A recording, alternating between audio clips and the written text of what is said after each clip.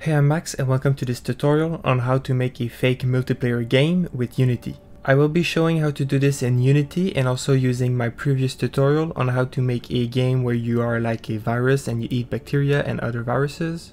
However, a lot of the tricks that I'm going to use can easily be transferred to another engine or another type of game. In this part, I'll do mainly the AI for this game in particular, but I'm going to use some tricks to make them feel more natural and in the next part, I'll try to do the names and the leaderboards.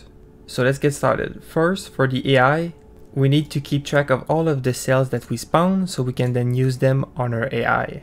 So first I'll open my game script and in the game script I simply want to keep track of all of the instances of the cells that I create so that later I can loop through them without having to find them all again.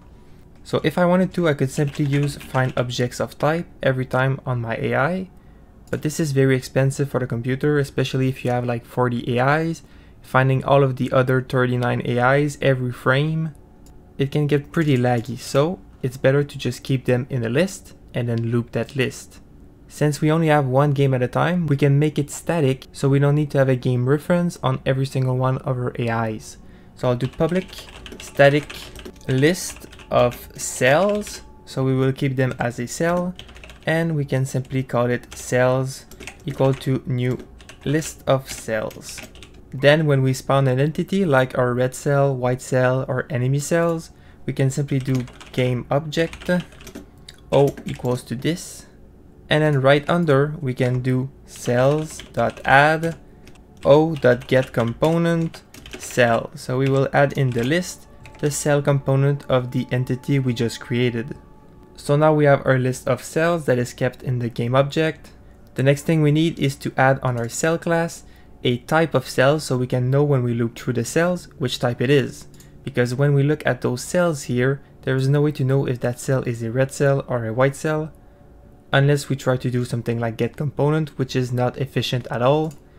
So it's better to just do public enum and then do it say cell type. And then here we can put white, red, or virus, just like this.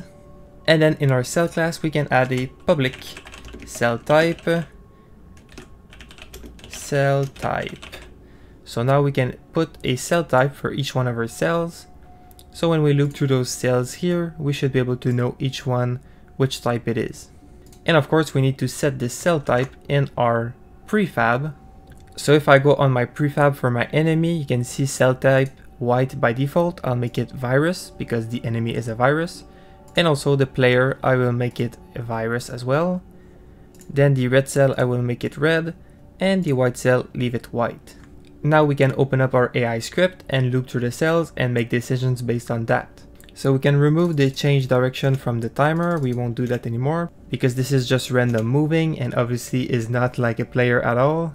We will also create a public struct stimulus, which is a structure that I'm going to use to store the different positions and different strengths, so the AI can make a decision based on all those stimulus. So I'll do a public vector 3 direction and a public float strength. Then on update, I want to loop through all of the cells and make a decision based on that. So I'll do for each cell C in game.cells. Now, I don't want to look at all of the cells exactly because some of them will be too far away. And when you make a fake multiplayer game, it's important to make it so the AIs don't do something a player could not do, such as see further than a player could usually see. So if a player only sees a certain distance away, the AIs should not see further than that. So I will add on my AI class a public float C range. So now in the for each I'll do if the vector 3 dot distance between the C dot transform dot position and the virus dot transform dot position is greater than the C range. So if the cell is too far away that we cannot see it, then we want to continue, which means go to the next element in the for each loop so at the top of the update before the for each, I'm going to create a stimulus that will hold the stimulus that we will follow. So I'm going to call it the best stimulus. And then after the if statement, so if the cell is close enough, I will calculate the strength of this stimulus to this cell. So float strength is equal to, and then it depends on the type of the cell. So I'll start with zero and then I'll do a switch c dot cell type right here. In our switch, we will set the strength depending on the distance and the type of the cell. So first, case cell type dot a white cell. Well, first of all, we want the strength to be bigger depending on the cell mass, so c dot mass. But we also want it to be smaller depending on the distance, so the further away it is, the less important it is. But you can see here we didn't set our distance as a variable, so we can just copy and paste this above as a variable dist, so we can reuse it instead of copying and pasting this whole thing. So the mass divided by the distance, so the bigger the white cell is, the more you're going to want to run away. And the closer it is, the more you want to run away, and the further it is, the less it is important, so the less you will want to run away. That's great, and as usual, a case needs to end with a break. Then let's take a look at the other case, so a red cell.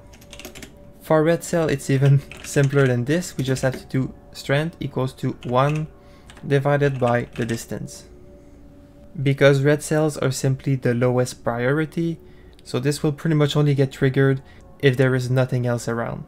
You could adjust the number here to give it more priority, like maybe 5 divided by distance would make it a higher priority. Actually, I think I'm going to set it to 2 and see what it does. Then, as usual, you need a break. And finally, the case cell type dot virus, which we are going to do kind of like the white, but I will actually make it have a parentheses at first and do virus.mass minus c.mass. So this is the mass of this AI and this is the mass of the cell that we're checking. So basically, the bigger you are compared to it, the more you will want to go towards it, but also the bigger it is compared to you, the more you will run away. So not only will this show the importance of running to it or away, but it will also go negative if you have to run away and positive if you run to it. I guess with that logic we also need to have the white cell be a negative because we want to run away from the white cells, not to them. So just adding a minus before it, that's good. And then finally we can do if the strength is bigger than the best stimulus dot then we want to set the best stimulus to a stimulus with the direction that we are going in, which will be dot transform dot position minus virus dot transform dot position and then the strength that we just calculated. Now you see we have an error here because we didn't assign our best stimulus by default, so I'll just do equals to stimulus vector 3 dot 0 and strength of 0. We also need to make the constructor for our stimulus struct, so I'll just do public stimulus and do a vector 3 direction, a float strength, and then simply do this dot direction equals direction, and this dot strength equals to strength, just like this. And we need to not forget to do the new before. I always forget because Unreal Engine doesn't have that for structs, but that's how it is with Unity. So a struct equals to new with our constructor. So by default, we set it to vector 0 and 0 strength. And then if we find one with a strength greater than this, then we set our best stimulus to that, and then we just have to move towards our best stimulus. However, I need you to notice that the strength here goes negative if you need to run away, and this one is always going to be negative. But here we do if the strength is bigger than this. So if, for example, we have a minus 3, we really need to run away, and the best strength is strength 1, something that we might want to go towards, well, minus 3 is not greater than 1. So we need to use mathf.abs, which will make it positive if it is negative for both of these to make sure that the absolute value of the strength is greater than the absolute value of the best stimulus, basically ignoring the negatives. And then finally, we want to set our direction, so our virus.move direction to be basically the best stimulus dot direction. But remember, if our strength is negative, we want to run away from the direction, and not towards it. So we can do if best stimulus dot strength is less than zero. So if it is negative, then we want to set the move direction times equal minus one. So basically invert it. Also, as someone pointed out in the last video, I forgot at some places to normalize the move direction and that's simply because in the cell, in the update, we already normalize it every update. You could move the normalize in every single one of those ifs, and also make sure that you do it in every other class. Every time you change the move direction, you normalize it. So here I would do something like this, and then you could remove it right here. And this would be optimized, but I guess it doesn't really matter at the scale that we are at. So let's see what this gives. Okay, so I just tried it and I have an error that gets spammed on update. And the error is right here on this line, so can you guess why that is? It says object reference is not set, so basically there's a null here. The null is obviously not our virus because we set it and we know it works. So it is obviously the cell, but how can the cell be null? Well, it's because we add every cell that we create. But everything we create is not a cell, our bacterias here are not cells You can see if I open up bacteria, they are a MonoBehaviour of their own. So basically what we need to do is simply before adding it, make sure it is a cell. So we can do cell c equals to o dot get component cell and then do if c. So if it is not null, then we add c. So like this, this should avoid adding null cells. Let's try it again and hopefully this will work this time. And yep, it definitely seems to work, except it doesn't. so we can see an error happening now. It says the object has been destroyed, but you're trying to access it. So basically, when we destroy a cell, we should remove it from this list as well. So in our virus class, I will go on die, and before destroying, I will simply do game.cells.remove, and then we remove this. So this will remove this cell before destroying it.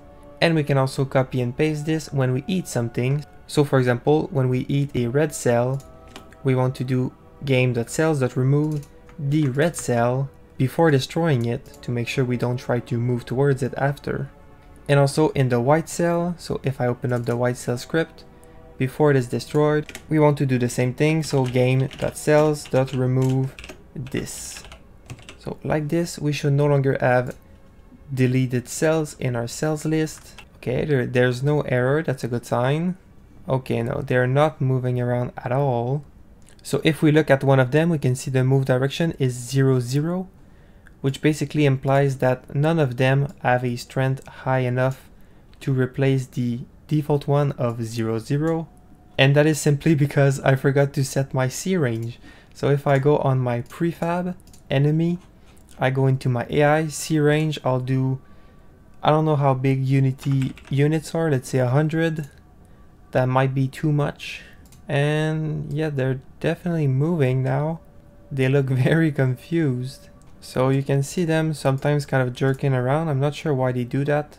So before we try fixing the errors in the AIs, first I got this error here after the game ended. And that's simply because when we do game over, we need to empty our cells list to avoid cells from the previous game being kept in this list in the next game. And this is possible because the variable is static. So we need to do cells.clear. So this will clear all of our cells before restarting the game. So now we can draw a line to show what the AI is looking at. So first, if we look at the white cell, we can see the AI is looking at every white cell near them and running away from them. And if there are two, he juggles between the two and that's why he gets stuck like this. If instead we look at the red cell, so which red cell the AI is looking at, and we make it ignore every other cell, we can see they look at the closest red cell and go straight towards it. So this is very good. As soon as they pick up one, they go towards the other one. And finally, if we only look at the other viruses, we should be able to see that they go towards one that is smaller, but away from one that is bigger. So let's see if this works, and it definitely looks like it works. Some of them are running away. You can see this one is running away, this one is running towards it.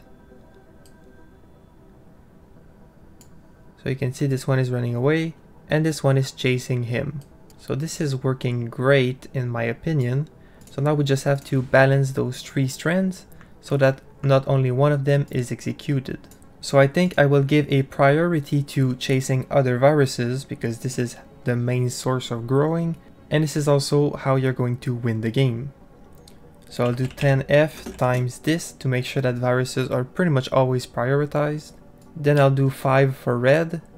And for white, I don't want to reduce overall the importance because it is important, but I want to make it so it only counts a lot if it is very close. So I'm going to do divided by distance times, let's say 10. Let's see how that looks. So obviously you adjust the values however you want. You might not even have a game like mine. But the point is to make the AI have a sort of good decision based on what he sees. So you can see they are chasing enemies. This one is chasing an enemy. I also want to reduce the C range for all of them. And actually when the player grows, his range of sight increases with the camera. So I could actually do something like C range equals to the virus.mass times a certain amount, like let's say 10. So this way the bigger the AI, the further it can see. I will also reduce here distance times 3 let's say, let's see how that looks. They are really mainly chasing enemies, but they're also kind of avoiding other things. Okay, so at this point it's just a matter of putting the values that you want for your game. And one other thing that's important, before we move towards the best stimulus, we want to make sure that it's not zero. So if best stimulus dot direction equals equals vector 3 dot 0 then we want to return because otherwise the AI will stop moving if there's nothing around. So now we can see the AIs are chasing red cells like this one. They're also chasing enemies, running away from other enemies, running away from white cell as well. See this one is keeping distance from both of them. And then he's going to chase this red cell right here. So they're doing pretty good. This one also just got one. So I think this is perfect for me. So here are my numbers if you want to copy them. Now here's the important part to make them feel natural. You can see that they each behave the exact same way. First of all, to make them act different, we need to have a public float array of weights. Then in the start, we will do weights equals to new float array. And then in here we will put three random floats from let's say so I'll just copy this right here and I'll do let's say from 0.7 to 1.3 and I will copy and paste this three times. So these weights are going to be random on each AI and then for the white cell I'll do strength times equal weight 0 for the red cell I'll do strength times equal weight 1 and for the virus I'll do strength times equal weight 2. So now each AI should behave a little bit different in terms of priorities. So some of them might prioritize a lot more red cells, some of them might prioritize a lot more white cells, and others prioritize a lot more viruses. So you can see already some of them have different behaviors. And if you want that effect to be even stronger, you can increase the random range. You can see this one is trying to get this one and it's not even running away, probably because its weight of virus is smaller. If you want, you can make it even bigger, let's say 0.4 to 1.8. So now we can see some of them have pretty weird behaviors, chasing from way over there, while other ones are not even running away. And another thing that we can notice is they each have very sharp turns, so you can see when they pick up something, they immediately turn around. But a real player would slowly turn around, the time of turning the mouse and everything. So what we can do is give them a turning speed. So I'll do a public float turn speed and we can set it in the prefab after. And down here, instead of just setting our move direction to the direction that we want, we can change it. So here we can do if the best stimulus strength is less than zero, then we can straight up invert the best stimulus direction instead.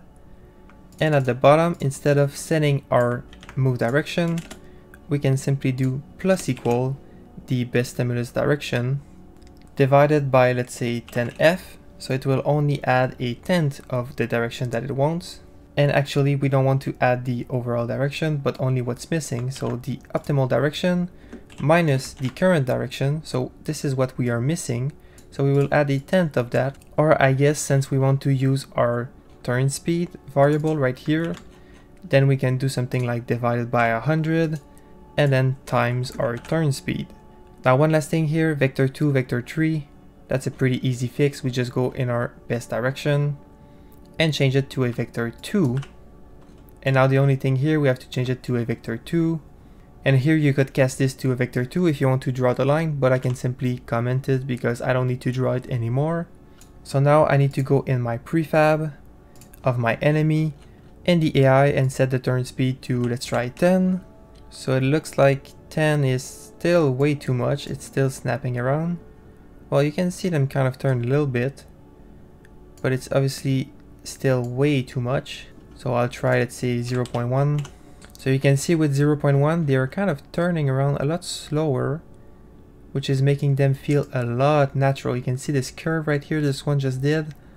That was amazing. So you can see they're kind of curving around. That is way smoother and makes them feel way more natural.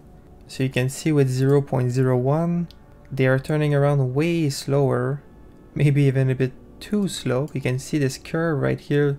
This makes them look a lot more natural than just snapping around. So that's pretty much all I wanted to do for this part 1, basically making an AI that's good, but also feels very natural with smooth turns, and also different behaviors for each so they're not as predictable. But you might also notice that none of them are going for the player, and that's because in the AI right here, we are looping through all of the cells that we spawned, but the player was not spawned, it was set in the scene. So basically the player is not in the cells list right here. So what we can do at the start, we can do cells.add, find object of type, player controller. So this will find the player object and then we can do dot game object. So this is the player object dot get component cell. So this is kind of confusing. So we want to add the player. So first we find the player. So we find the object with the player controller. So this is obviously the player. Then we get the game object. So this will give us this game object player right here. So we find the player controller. Then we get the game object. And then we get the virus script on it. So the cell script on the object. I guess we could maybe just do find object of type cell, but then if you add other cells by default in your scene, then it could find those instead of the player. So now the AI should react to the player as well, so let's test it out. So let's see if this one turns around and tries to eat me, and you can see he's chasing me, but the turn speed is way too slow right now, but you can see it just turned around, and you can clearly see that it's chasing me. So if I move up, you can see it follow me up, and then if I go around, you can see it turn and follow me. So the turn speed on my AIs right now is way too slow. I set it to 0.01, but you can see clearly that it works. So basically the most important part of a fake multiplayer game is that the AIs feel natural. If they start chasing something that's not in sight, or they snap around very fast, or they play perfectly, it will be obvious to the player that this is not a real multiplayer game. And it will also not be fun because it will be way too predictable. So you can see this one even gave up chasing me. This feels honestly just like a real player. So hopefully you like this first part. In the next part, we'll add the names and the leaderboard so you can compete against these fake players. If you like this video, make sure to like and subscribe.